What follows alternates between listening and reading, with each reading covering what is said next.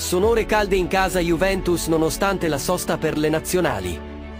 Infatti, diversi calciatori sono rimasti alla continassa per aumentare i carichi ed entrare in condizione il prima possibile. Una volta tornata la Serie A, il gruppo bianconero dovrà fare i conti con un grande tour de force che aprirà le porte anche alla nuova Champions League. A tal proposito, tutti gli uomini dovranno essere nelle condizioni migliori per fare la differenza. Ciaggio Motta lo sa, motivo per il quale starebbe lavorando con diversi protagonisti. Tra questi c'era anche Francisco Conceicao. Va usato il passato perché il portoghese non proseguirà gli allenamenti con i compagni. Infatti, durante la seduta di ieri, ha accusato un problema muscolare che gli impedirà di scendere in campo nelle prossime settimane. Stamane sono emersi nuovi dettagli sull'entità del problema dopo aver svolto gli accertamenti medici.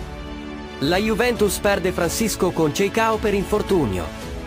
Il neoacquisto bianconero è costretto al forfè dopo soli 45 minuti giocati contro la Roma.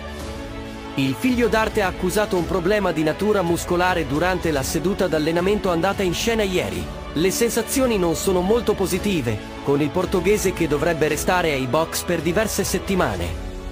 Ecco il comunicato ufficiale della Juventus che espone i risultati degli esami a cui il portoghese si è sottoposto oggi, Francisco Conceicao. A seguito del problema muscolare accusato nel corso dell'allenamento di ieri, è stato sottoposto ad esami diagnostici presso il J-Medical che hanno evidenziato una lesione dei muscoli, peronieri della gamba destra.